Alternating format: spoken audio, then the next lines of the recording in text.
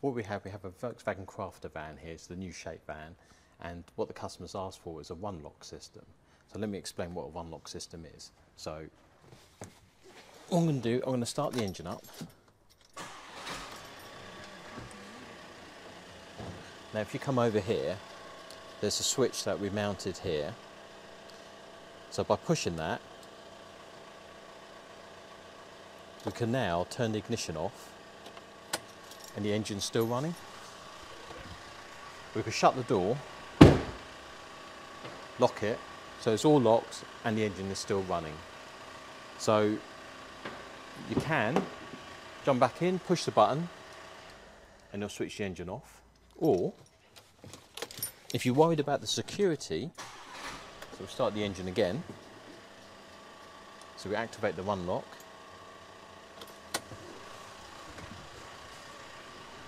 So if you're concerned about um, anyone breaking into it while it's locked because the engine's running, as soon as that person hits the brake, it cuts it dead anyway.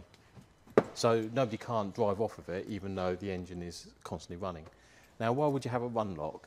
Well, there's various applications where somebody might need it. Um, this particular van, there's equipment that needs to be run. They need to have the engine running, um, basically to power up all the equipment that's in the back. And, uh, but they don't necessarily want to leave the key in the ignition.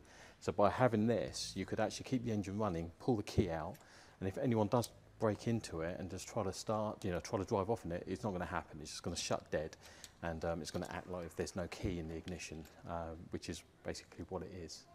Um, I know some of the couriers um, like this sort of system because basically they're doing drop to drop to drop and they want to um, basically just leave the, leave the van running, um, but also they want it secure so they could leave it running, jump out, shut the door, lock it, open the back up, do the delivery and, and what have you.